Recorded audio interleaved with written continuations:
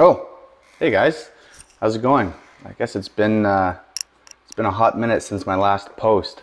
Uh, for a lot of reasons. One is still that my ankle is broken and it's hard to move around to do video editing uh, and setting up shots and whatnot. Uh, the other thing is I lost uh, my last video that I was going to post. I did a home Wi-Fi mesh upgrade and a Nest install, and I was going to post that as another video, but I lost that footage, so that kind of sucked. Uh, also, I've done uh, some cool stuff coming up. We did an interview with uh, the YouTube channel artist from The Poor Investor, as well as the writer of The Chia Plot. So there's a three-way interview with me and those two guys that's going to be posted shortly after this video. In this video, we finally hit a quarter of a petabyte. We did it, a quarter of a petabyte of raw storage. Now, not all of it is for Chia, but the raw storage amount is over a quarter of a petabyte now in those servers downstairs. So today we're going to be taking a look at how I shoved in the last little bit of uh, drives and we still have room for expansion actually. So I can still fit another four or five drives uh, in that Iceman case. Uh, so take a look at how we got to a quarter of a petabyte, which is awesome. Don't foresee myself doing too, too much more uh, on the, the upgrade front but uh, there is room for expansion in the current infrastructure. So let me know what you think, subscribe and like, and we'll see you after the video.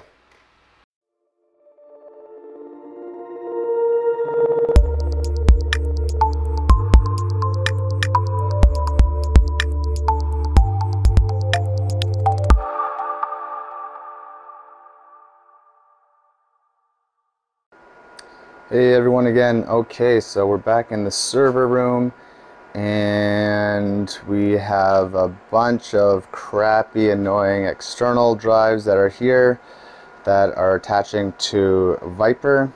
Uh, Viper has a ton of room and we're going to be installing an additional 85 terabytes into Viper. Here's some more of the drives that some of these are open, but uh, we have a couple others here that are unopened. And uh, there's a second drive cage that we're going to be putting in, along with some separate fans. Uh, we've already done the cable mod in the previous video uh, regarding to get extra power out of this power supply. And you can see here that uh, we have tons of space uh, for extra drives, but we did need a new drive cage. So I picked up a drive cage that I hope is going to fit. It will go in there, hopefully. Once that's installed in there, then we'll have uh, four drives. I think it contains four or five. It might contain five. Um, but as you can see, we've got room for an additional uh, four drives here one two three four so an additional three here and an additional four here uh, and uh, we're gonna be doing that today so I'm gonna be shucking all of those and installing these uh, the remaining ones here so that will have an additional 85 terabytes which is going to give us over 250 terabytes of pure raw storage in this entire rack. Now, not all of it is attributed to uh, Chia, but the majority of it is attributed to Chia. And so I'm gonna have to take out that server and bring it upstairs and come join me for the ride. 14 terabytes of raw storage.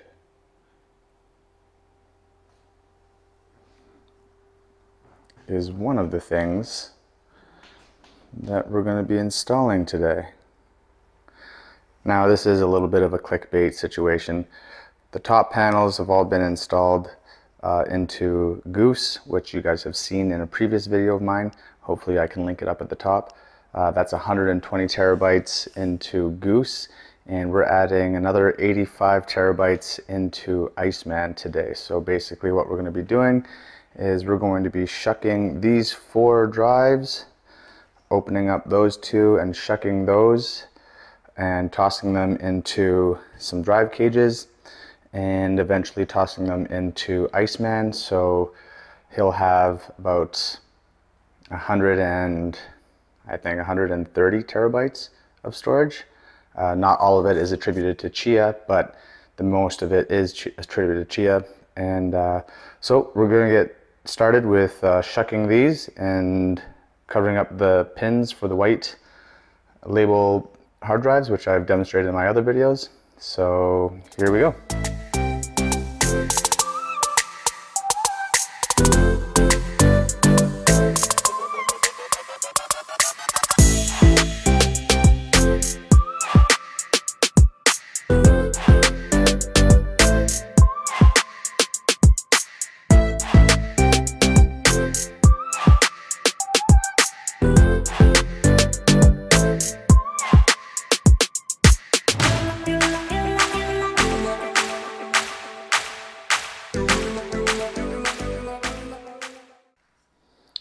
So now that we have uh, all of the drives shucked, uh, I'm going to go through this in a little bit more detail because I didn't go through it in another one of my videos and I get a lot of questions about it.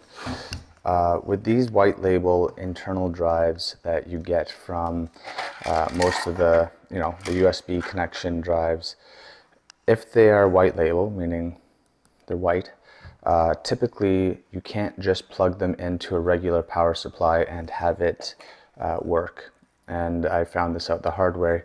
But the solution to that is if you cover the third pin on the power supply, on the power, so that would be one, two, three. If you cover the third pin with duct tape, uh, not duct tape, sorry, electrical tape, uh, it then generates the proper power source information and it powers up the drive normally. You can actually cover up the first three uh, without having any issues because the first three are not uh, in use. So if you overlap on the second one or even in the third one, um, that's fine. So what we're going to do is we're going to we're going to do that here right now uh, with some duct tape, and I'm just going to demonstrate to you how I do that. All right, so this might be a little difficult on camera, but basically I just cut a piece of um, duct tape. Gosh, why do I keep calling it duct tape? A piece of electrical tape and we're just going to wrap it around the third pin here. It's impossible to do through the viewfinder, but we've got it here.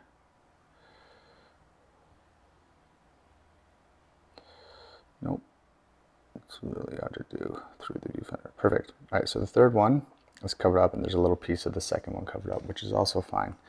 Um, so what we're going to do is we're going to leave a little bit of this showing on the other side. So we'll cut that nubbin off. And then we're going to take some tweezers and press this around the end so that it's on both sides. So you can see now that it wraps around and is flapped on the other side. See that? Okay, and you're going to make sure that it's all the way down. Again, it doesn't matter if there's a little bit of one showing here, just as long as the third one's covered. So we're going to do that for the next uh, five drives. Alright, now that we have all the drives shucked, we just need to shut this down and pull out the server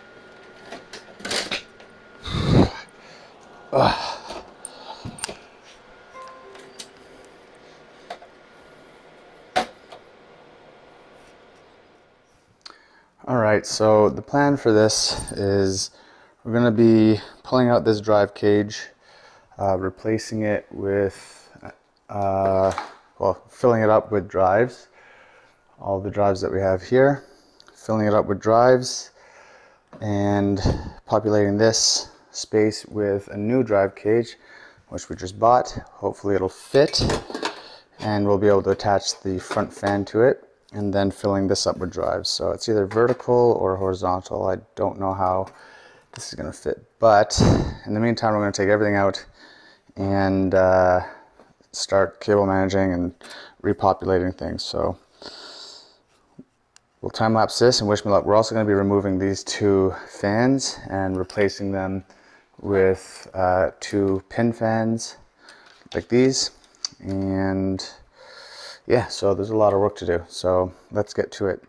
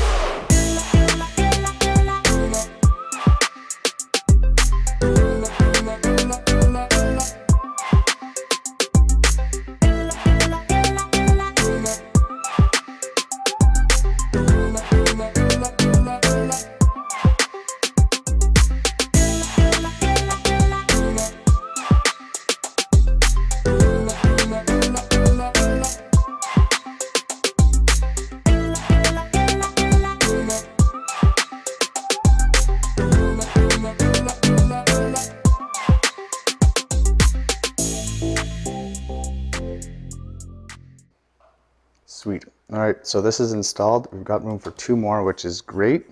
In fact, we might even have room for a third down here, which I mentioned earlier. Uh, let me just... Yeah. These sleds allow you to have five in one of these drive cages. These ones only allow you to have four.